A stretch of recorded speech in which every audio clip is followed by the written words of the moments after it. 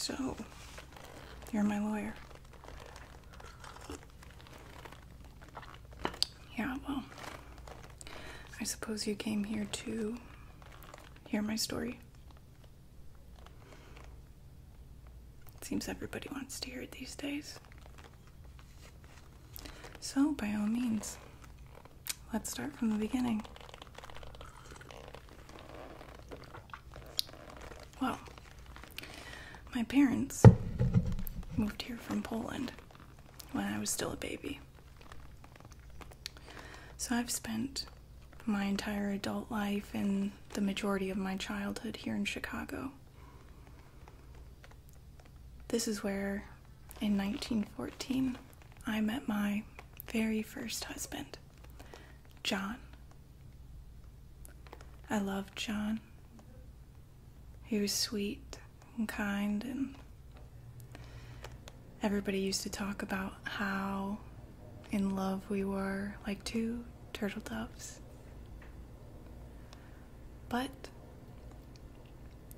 as time went on, as some happy marriages do, things started to change. Now, I know some people say that you never really know who it is that you're married to until you're already in it. And I think that was true. Certainly for me, at least. I learned a lot about myself and what I could do. But, as I'm sure you know, or have at least read, John had a heart condition, which was the reason for his death. Yeah. We didn't really talk about it openly, but I didn't think that'd make much of a difference. Now, after his death, it was tragic, but things started to change for me. I uh, started to be able to foresee death in a way. I started to predict the deaths of people around me, some family, even. Pets, definitely. A dog here, a cat there. And that seemed to follow me up until today. But it was just kind of odd in the beginning. So I didn't really make too much importance of it. And I also distracted myself with my second husband, Joseph. Joseph and I had a short marriage. It felt a little bit like um, Romeo and Juliet, but I'm hardly a Juliet at my age. And the thing I remember most about Joseph is he absolutely loved my cooking. And I loved cooking for him. Anything that he wanted soups, stews, roasts, tea and coffee. He loved his coffee with a lot of sugar. So sweet. Just like him. I predicted Joseph's death too. That was quite tragic. I told a few people about that one, and you know, I think it was going to be inevitable after too long, and it was.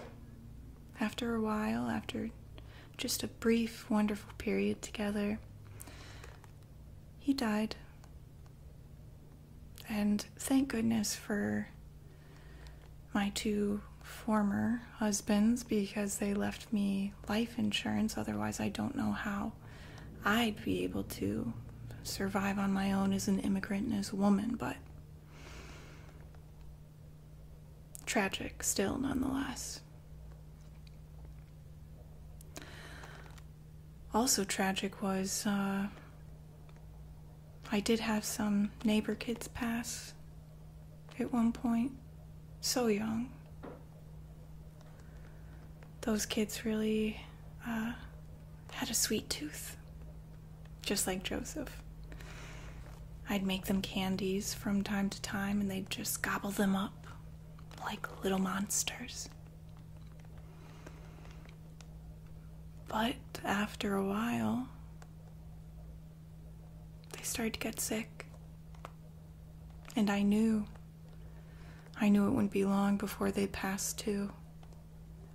I'd sit and watch them from time to time, the glow that they used to have in their eye starting to dwindle. Eventually, you'd see less and less of them, and until you just stopped seeing them at all. And you know, You knew they passed like every other person I had predicted before them. During this time, I had a roommate named Meyer. Things went well with us in the beginning. He was only there for a short while, and I'm not sure what happened, but Meyer just vanished. Now, police never found a body, and nobody uh, made any reports or saw him after a certain point in time, including myself, but it's uh, odd having somebody just disappear into thin air like that. But by that time, I had started a romance with my third husband, Frank.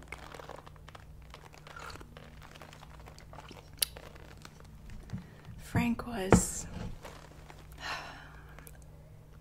an interesting man. He had a lot of inner turmoil, let's say. Maybe that was due to the fact that I did tell him early on about me predicting his death. I don't think he liked that very much. In fact, I told everybody about it friends, family, even our landlady. I would joke with them that, you know, he only had two inches to live. Some people found that a little difficult. I don't think that they understood my openness with it. But you know, I spent as much time with him as I could during the days that he grew sicker and sicker, making him whatever he wanted to eat and administering medicine to him if he needed it. I would sit by his bedside and hold his hand or knit and say, It's going to be any day now. I even uh, knit a mourning hat. I'll probably wear it to trial. Figure that'll be uh, good for me. But even as he got sicker, I don't know exactly what pushed him over the edge into death, but I think it had something to do with the coffin. I found a bargain coffin for $30, which is just simply unheard of. So, of course, I purchased it. And when I brought it back to our building, I inquired with the landlady whether I could store it in the basement until his death. Well, she found that a uh, bit insensitive of me. And she told me that if I tried to store it there that she would kick me and the coffin and my husband out. And of course, in Frank and his condition, I knew that couldn't happen, so I was forced to bring it upstairs And there it sat in the room, just looming over him, almost staring at him like death itself, just waiting and watching his inevitable demise.